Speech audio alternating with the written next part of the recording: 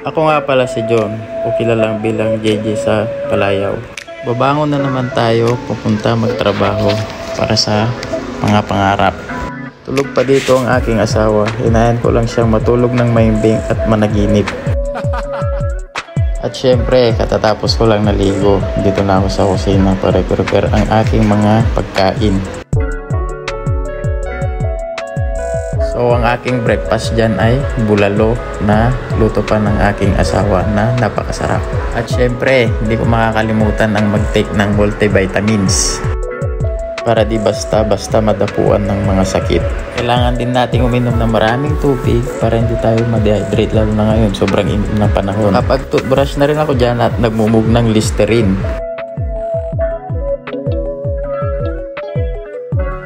So ayun guys, syempre, hindi ko makalimutan lagyan ng Rexona ng aking kilikili para hindi siya mabaho pag nagpawis. At dito, medyo nagmamadali na ako dito kasi yung service namin ay eh, naghihintay na pala sa baba ng building namin. Siyempre, hindi ko makakalimutan ang pampagwenas ko sa umaga, yung malika ng aking asawa para maganda ang aking umaga. Papunta magtrabaho.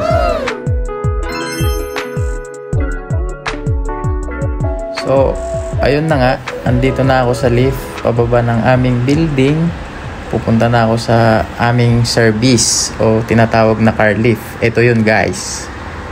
On the way na ako yan papunta sa aking trabaho.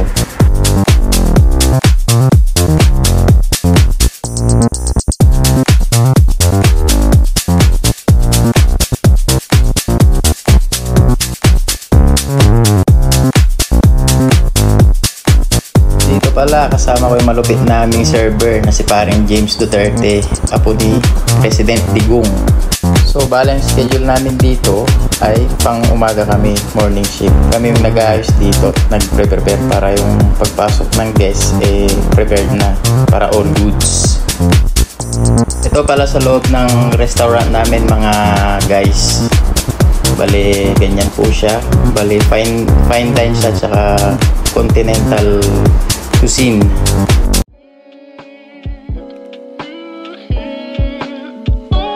Ulat muna tayo sa log sheet. So, tikim tayo ng kape dito guys kung good shot pa ba siya kung pwede siyang i-serve sa guests.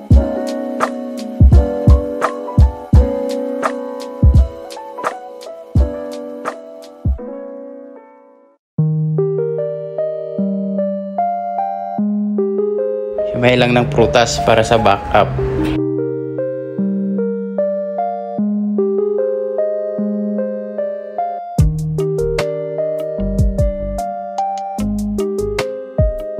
So, yun na nga, bali, tapos ng aming duty. Pauwi na po kami ngayon. Nakakasama ko si James Duterte, na po ni Rodrigo Duterte. Ito na pala yung service namin, o tinatawag dito na car lift. Ito yung naghihintay palagi sa amin papuntang pauwi sa aming mga building. Driver pala namin na Pakistan, kilala bilang sa tawag na tayyab na lumilipad pag nagpapatakbo. Relax na relax dito si tropa oh.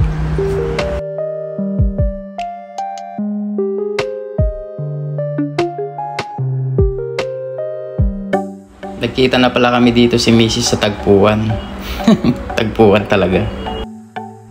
Para magtingin ng saluyot na ihalo namin sa labong na galing pa sa Pinas. Ayan o guys, yan ang itsura dito sa Sharjah, UAE.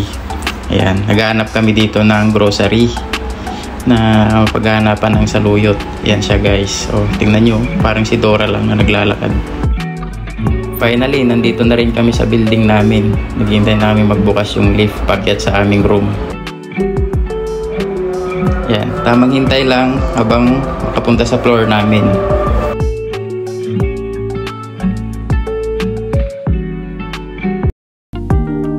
So, yun, andito na kami sa aming room. Sinalubong kami ni Bailey. Na asong napakakulit.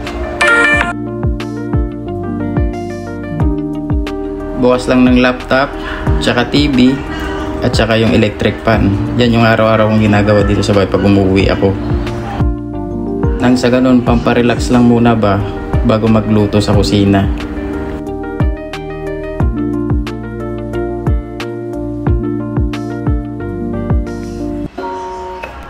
So ganito pala ang itsura ng labas ng aming building. Ganito ang kanyang itsura. 8 floor kasi kami kaya ganyan siya kataas.